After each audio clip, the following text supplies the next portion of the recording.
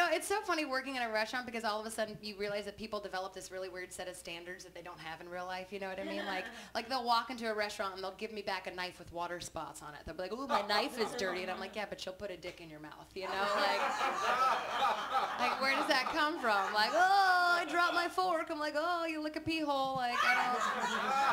Like, like a guy I hooked came into my restaurant one time and was like, oh, I dropped my fork, and I'm like, you made out with my butt two days ago. Like, you should fucking fork.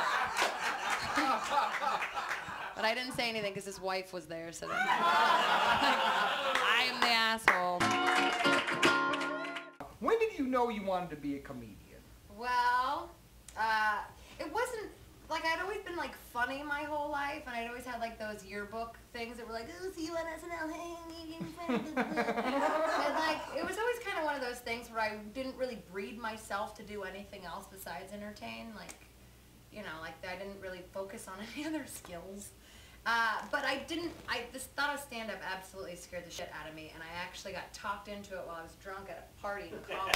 Seems to be a common theme tonight. Thank you, Goldschlager. but they sponsored me. I have a tattoo across my chest. So, um, like, uh, no, but it was, we were just doing a benefit for the theater department at Cal State Long Beach, and uh, they were like, do it, do it. And I'm like, no. And they're like, come on, everybody's doing it. Like, people that weren't even that funny. I mean, like, just all of our friends were doing it to Mhm. make money, and I was like, all right, whatever. And uh, I think I got drunk before the show, too. Thanks, Jägermeister. Lots sponsors.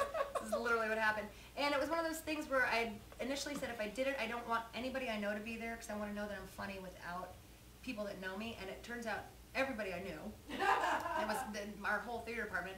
And they laughed. And I was like, okay, that felt really good. And then I did a bringer at the comedy store, I think my second show ever. And I still had a bunch of friends and they laughed. And the third show I did, I only knew like two people in the audience and people were still laughing. So I was like, okay.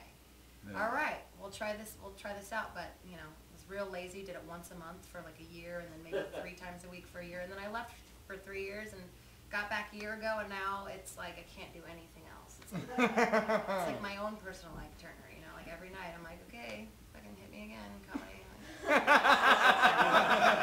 Just grab my ankles and surrender to the microphone.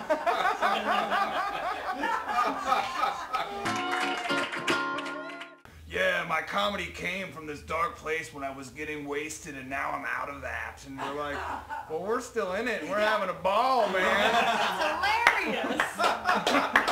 no, but if you have a problem, you should get help.